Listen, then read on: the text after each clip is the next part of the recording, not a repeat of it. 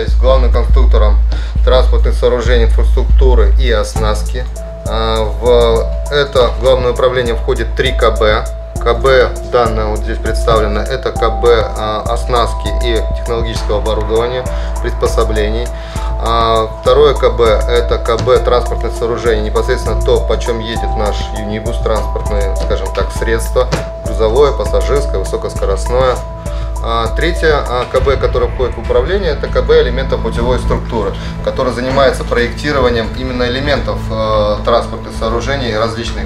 Это идет речь о стрелках, вокзальных приспособлениях каких-то, а, приспособлений для того, чтобы обеспечить комфортный проезд, посадку в наше транспортное средство в Юнибус в частности. Ну, вот этих три основных направления, три КБ создано, скажем так.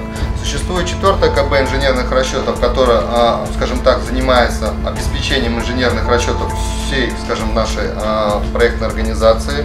Это как и расчеты необходимых, скажем, силовых каких-то конструкций, тоже того же транспортного средства Юникара, Юнибуса, транспортной нашей эстакады при необходимости, строительных каких-то, возможно, там а, расчеты проводятся.